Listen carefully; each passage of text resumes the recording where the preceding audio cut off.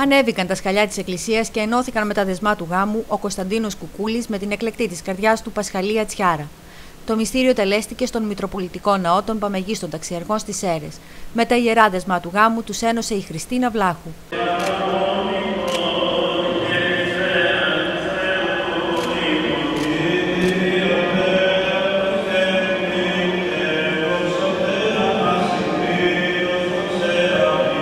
Το επιλογές εύχεται στους νεόνυφους να ζήσουν και πάντα άξια η κουμπάρα.